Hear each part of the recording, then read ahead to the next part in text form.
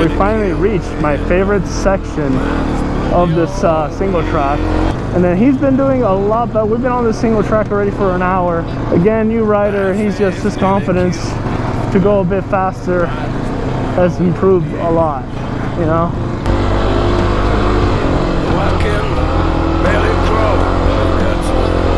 Uh, second gear, see if I can do it. So these are all hill climbs.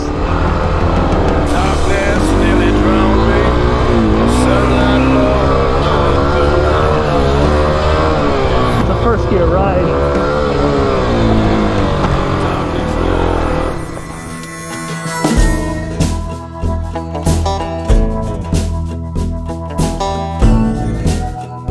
This is Sean. This is his first time on our single track called 770.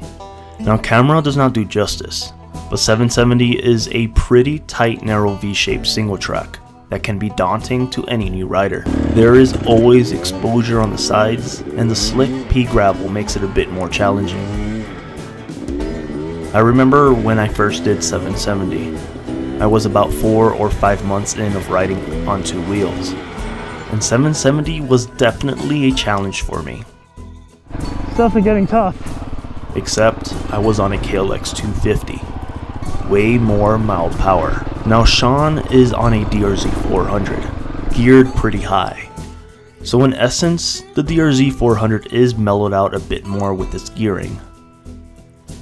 But the catch is, it is a DRZ 400E and not the S model meaning way more power versus the S. Sean has been riding for a few months, so he has very minimal experience, and started off on something with double the power of a basic trail riding dirt bike like the TTR or the KLX. Not to mention, he is also on 770 single track for the first time ever.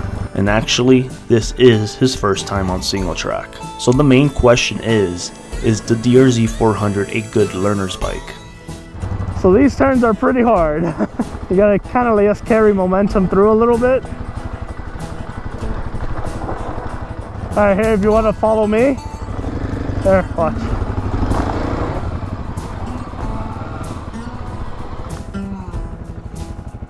There you go.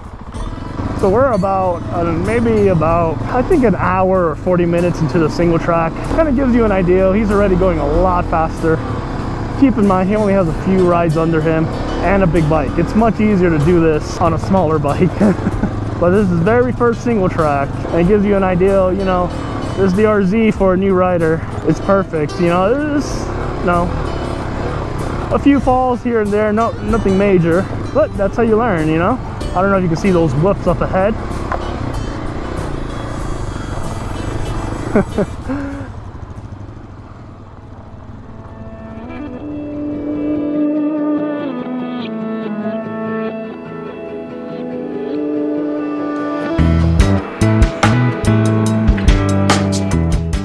So let me tell you a little bit about my story and let you fill in if the DRZ 400 is a perfect learner's bike.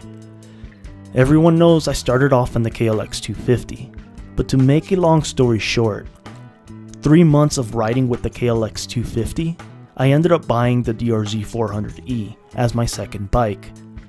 Now here is the catch. I mostly ridden the KLX 250 on the streets and not really on the trails. I was still pretty timid of the dirt roads during my first month or two of riding. Oh shit.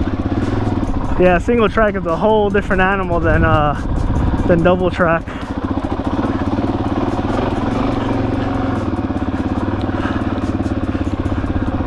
Oh. So here comes the DRZ 400E. I essentially geared it to 1538 since I was mostly riding on pavement. But as the weeks passed by, I started liking dirt more and more. Dirt was definitely harder for me versus the street, and I was completely new during this time. So here I am with a DRZ 400E, a 30 plus horsepower dirt bike with very minimal experience. Of course, I only stuck to the basic dirt roads and easy trails. This stuff is really loose. I don't know if it's the new tires that I swap.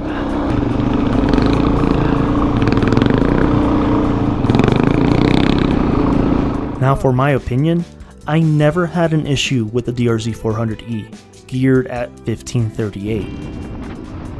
I brought this machine to almost every trail when I first started, and a little blip of the throttle here and there, but it honestly was incredibly forgiving, and nothing like a two-stroke if you were to blip it. So in my opinion, and living proof of me learning on a DRZ 400 on the dirt trails, as a new rider, Yes, it is completely fine to start off on a DRZ 400E. However, I would suggest gearing it a bit higher to make it a bit more mellow in case you blip it, until you have your clutch hand memorized. Now, why do I think new riders should start on a DRZ 400? Simple. You will save money in the long run instead of buying a new bike with each progression.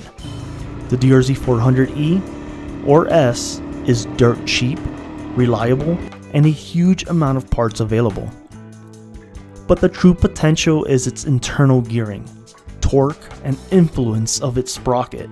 So essentially, you can make it a fire breathing machine with 1350 gearing, or you can make it a nice mellow cruiser at 1538 gearing when you are learning.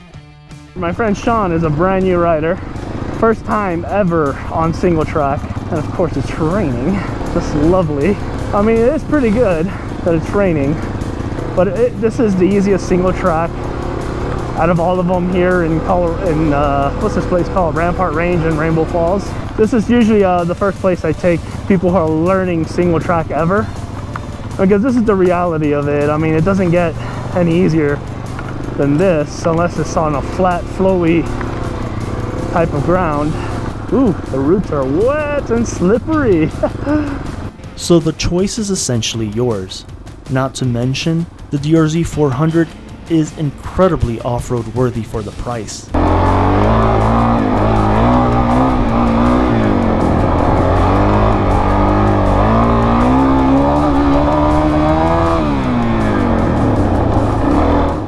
So this might be all the bike you will ever need.